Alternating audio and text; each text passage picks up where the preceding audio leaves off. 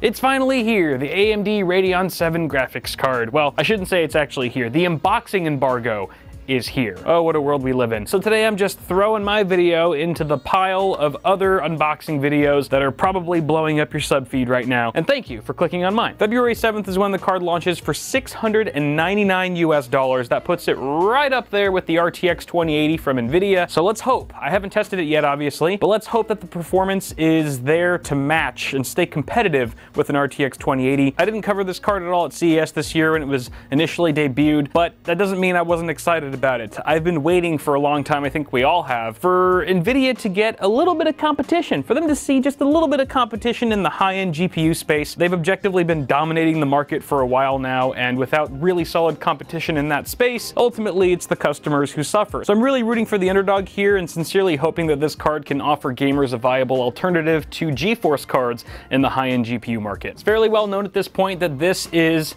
the world's first 7 nanometer gaming GPU. Very exciting. Uh, Turing with uh, GeForce is 12 nanometer, so we're gonna pop the lid off of this bad boy.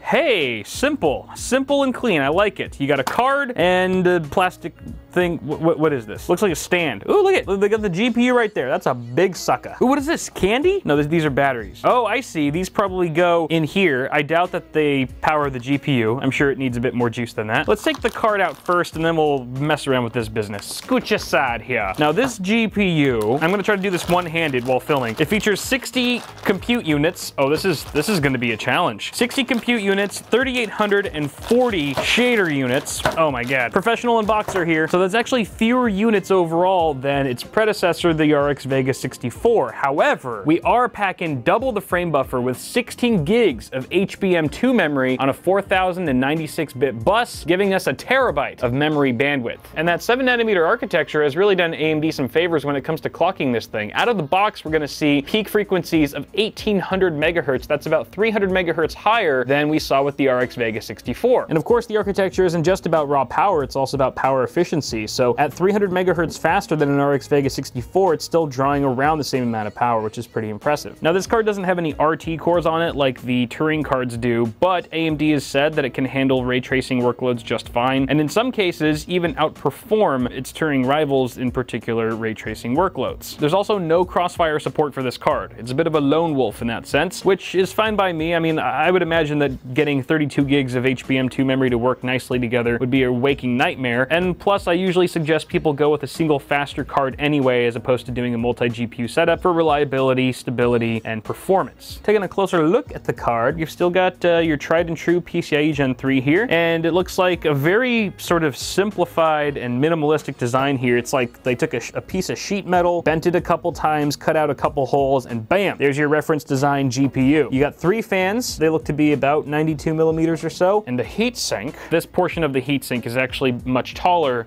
than the portion you're seeing underneath the fans. So it does provide a little extra heat dissipation. You can see that there's a copper plate right there, and it's a fairly open shroud. Nothing's getting ejected out the front, if you want to call this the front of the GPU, but certainly air is going to be exhausted out the bottom, the top to some degree, and certainly the back. So be sure to plan your airflow path accordingly should you be popping one of these into a future build. While we're at the rear here, let's take a look at our I.O. We've got one HDMI and three display ports. Radeon branding, of course. This is very similar to the RX Vega 64 this probably lights up red. Not expecting any RGB here. We've also got that Radeon cube in the corner that I'm sure lights up too. Just above that, dual 8-pin power plugs. Again, 295 watt TDP. I'm very curious to see exactly how much power this will draw from the wall though. And of course, I can't talk about that right now. The back plate. The back plate looks very nice. Kind of uh, the same sort of color machining as the front. All very uniform. I wonder if this adds any sort of thermal dissipation. Definitely has a lot of slots for ventilation, but uh, looks like it's fairly close to the PCB there. Yeah, it's like right on it. I'd be curious to tear this thing apart and uh, check to see if there's any thermal pad situation or if this is actually being used as a heatsink of some sort. The card's not super tall or anything, maybe extends uh, three quarters of an inch over the, the L shape of the, of the PCI bracket there, and it measures about 12 inches long. That's 305 millimeters for those of you who live in a place where things make sense. I've been feeling it this whole video, but I haven't pointed it out till now. This card is very heavy. I mean, between the backplate and the full-length heatsink, just the shroud itself being all metal, this thing is a friggin'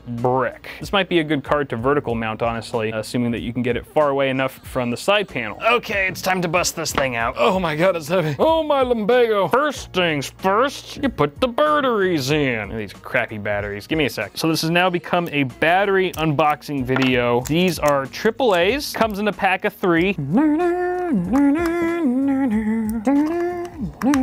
Get the get in the thing. Can I just have one day without problems? Is that too much to ask? Yes. Batteries installed. Okay, GPU. I don't know how this goes. Probably like that. Does that look right? Sure. And there's a power switch back here somewhere. Aha! Oh! Doesn't really illuminate all that well. Kind of a weak RGB implementation. Let's see if it looks better with the lights off.